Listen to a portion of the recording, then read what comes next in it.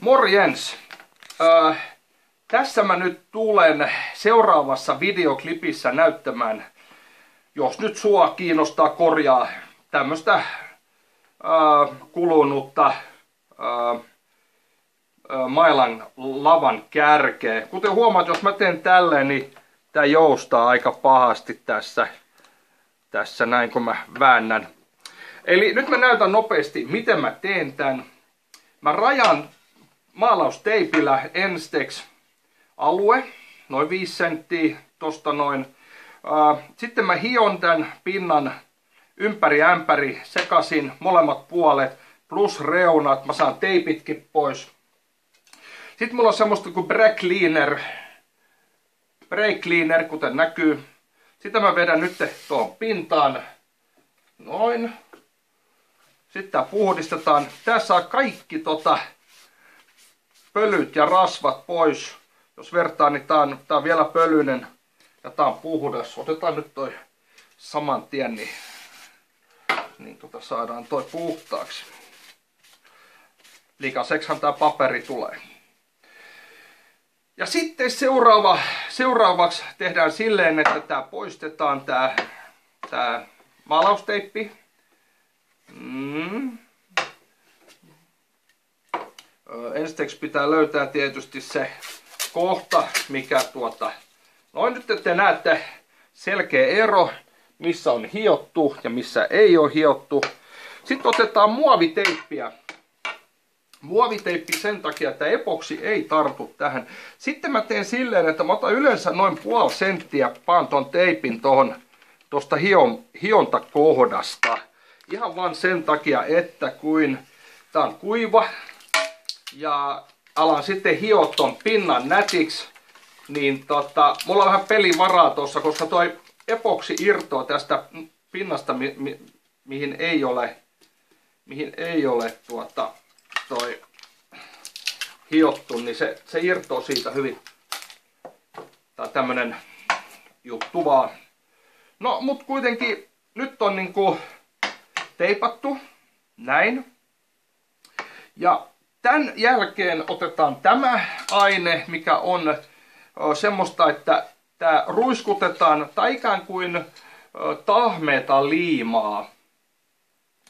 Mä näytän kohta, mulla on tuossa toinen lapa, niin mä näytän. Tää ruiskutetaan näin ja mieluummin semmoisessa paikkaa ruiskutetaan, ettei se tule lattialle, koska tää jättää varsin tahmaisen jutun lattialle. Tää on nyt ruiskutettu ja tää on suht tahmea. Noin, ei vitti laittaa sormeen siihen. Sitten mä otan tän hiilikuitu. Tää on biaksaalia. Eli tässä on niinku, tää kuitusunta menee näin. Tässä on kaksi kerrosta ja toisella puolella se menee noin. Eli tää on, tää on niinku 45 asteen kulmassa oleva tämmönen kuituhässäkkä. Tähän voi laittaa ihan ristikudostakin, koska se on nyt rikkoutunut kohtaan tossa niin mä laitan sen keskiosan noin, noin, ja sitten se vaan pujotetaan tohon. Mieluummin silleen, ettei tarvitse irrottaa, koska, koska tota, tää on niin tahmea tää. Kuten näette, niin tää tahmasee kiinni vähän niinku takiainen. Tästä tulee ihan nätti hässäkkä kuten näkyy näin. Nyt se on niinku siinä. Missään nimessä se ei ole valmis. Nyt mä yritän näyttää teille, miten tää, miten tää e laitetaan epoksiin sun muuta. Nyt pannaan epoksi. Tää, tää ei ole mun normaali työ ää, asento, eikä mitään tämmöstä, vaan tää on niinku enemmän tai vähemmän tämmönen, millä mä nyt esittelen teille, miten tää tää tota, epoksi tähän laitetaan. Tämä biaksali on vähän niin kuin hankala, kun se on vähän niin kuin semmonen, kun se ei ole ristikudosta, niin se, se tahtoo vähän välillä niin kuin lähteä pakenemaan. Mutta kun se tulee märäksi, niin sitten se alkaa taas asettumaan. Joskus nämä hiilikuidut, nämä suikaleet on, tai kuidut on vähän kovia. En lähde puhumaan sen enempää siitä, että mikä siinä on homman nimi, mutta jos nyt Jukka kattoo, jos Jukka kattoo siellä, tota, joka on Kevran työntekijä, josta mä käyn hakemaan näitä hiilikuituja, niin voi lähteä kertomaan, jos sä haluat, niin mikä on homman nimi, miksi se lähtee kovenemaan toi kuitu. Mutta kuitenkin, kuten näette, näin. Sitten nyt mä en tiedä näkyykö kuinka hyvin, mutta tää on aika matta värinen. Eli se kuitu on imennyt sen epoksin ja pinta on tullut kuivaksi. Eli mä teen silleen, että yleensä mä laitan tämän, tämän äh, kuidun todella märäksi.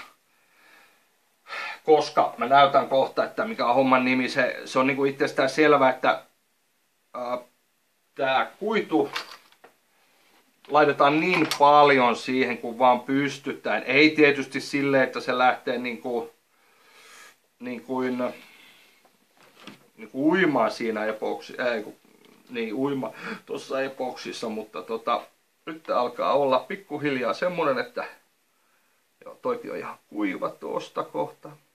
Otetaan tuosta pensselistä toi epoksi. Alkaa pikkuhiljaa olemaan kyllästynyt toi kuitu. Mä vähän veikkaan, että toi riittänee. Joku tietysti kysyy, että miksi mä teen näin. No, tää nyt on mun tyyli, miten mä oon todennut, että vois toimia. Noin. Nyt tää olisi niin kuin mun mielestäni läpensä märkä. Ää, tässä tapauksessa tietysti olisi kiva, että se olisi saanut imeytyä rauhassa semmonen mun mielestä hyvä määrä on semmonen ainakin 10 minuuttia, koska tässä on kaksi kerrosta nytten tota, tätä kuitua, niin se, se vaatii hiukan enemmän aikaa. Joku voi tietysti nauraa tolle jutulle, mutta en mä nyt siitä lähde sen enempää. Mutta sitten otetaan elmukelmu. Joku kysyy, miksi elmukelmu? No sen takia, että epoksi ei tartu elmukelmuun. Leikataan vaan tommonen kevyt pala. Elmun kanssa kannattaa olla vähän varovainen liikuttaessa, sitä se on vähän inhottava tuote. Ja nyt hyvät ihmiset, kattokaa tarkkaan mitä mä teen. Eli keskikohta keskikohtaan lapaan noin.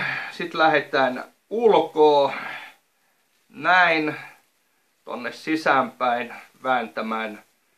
Uh, nyt mä tiedän, koska mä koskin tätä, uh, tätä kuitua, tää on erittäin pehmeä, jolloin mä tiedän, että siellä on reilusti tota epoksia.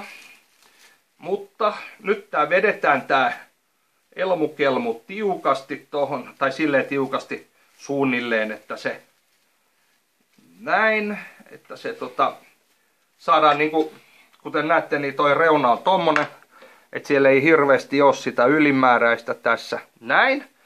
Ja sitten tulee tää kaikesta vaikein juttu, eli teippi. Keskelle taas.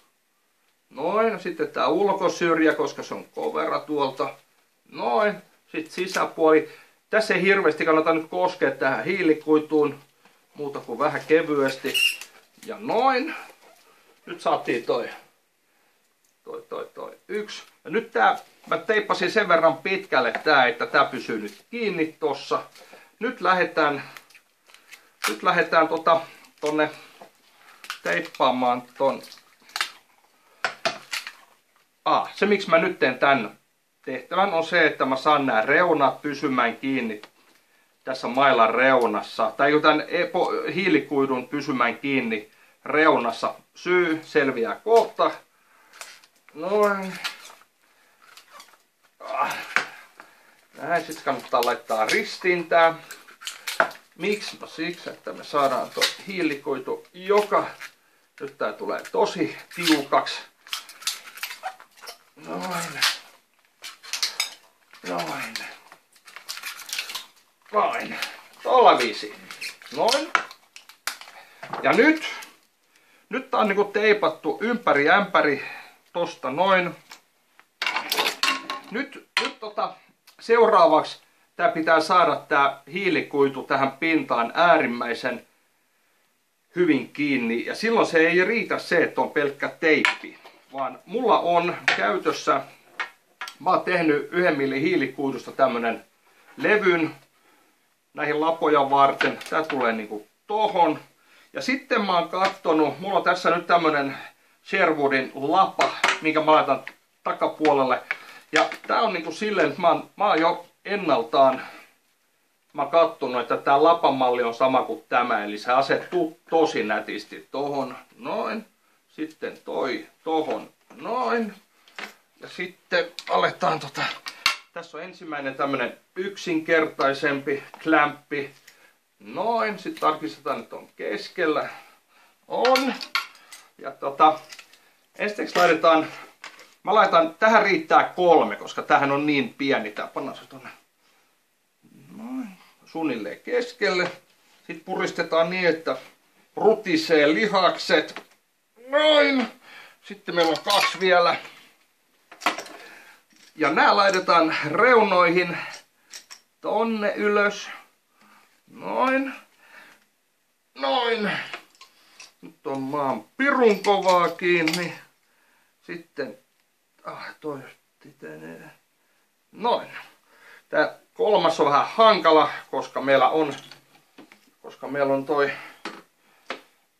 olisi pitänyt ottaa vähän isompi liima puristi, mutta kyllä se tohon menee. Noin, se on niinku siinä. Nyt se saa levätä siellä. Nyt alkaa jo näkyä, että mitä toi epoksi haluaa pois sieltä. Se ylimääräinen tuolta noin, että tota. Nyt mä näytän teille vielä yksi lapa. Mä oon tehnyt tossa aikaisemmin yksi, yksi lapa. Tää on tullut, tää on tullut tota, saa jo epoksia käteen. Tää kannattaa puhdistaa heti, muuten sitä joka paikasta ahmeena muutama tunnin verran. Tässä te näette, tässä on yksi lapa tehty. Tää on tullut just muotista.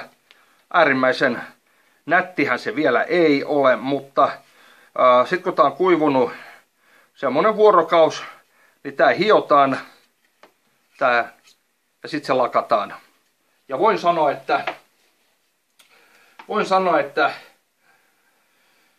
öö, tämä ei ole mikään hirveä raketti tiedettä ynnä muuta. Tässä pitää vaan tietää, mitä suunnilleen laittaa hiilikuituu tuohon, millä sä puristat noin kaikki tää, kaikki suojavaatteet kannattaa olla, koska tuo epoksi on vähän ilkeä. Jos sä kuvat mun housuja tässä, niin, niin näette, että tää on, on ihan tosi kova tää. Täällä on läiskiä täynnä. Tää on musta hiilikuidusta nämä, nämä mun housut. Mutta tota, tosiaan niin tää, tää annetaan nyt kuivuu. Tietysti toikin, minkä mä just tein. Se annetaan kuivuu, sit se hiotaan. Sitten mä laitan teille valokuvan, että miltä näyttää. Tuleeko teille kysymyksiä? pistäkää ihmeessä tulemaan, hei.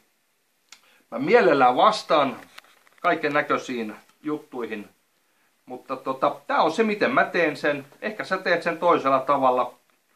Niin tota, mä nyt on varmaan ainoa, joka näitä jakelee näitä, näitä videoita täällä YouTubessa, että miten näitä korjataan, että en, en tiedä muista sitten. Mutta hei, kysymyksiä. Antakaa tulla vaan. Silleen. Mutta hei, siihen asti morjens vaan kaikille.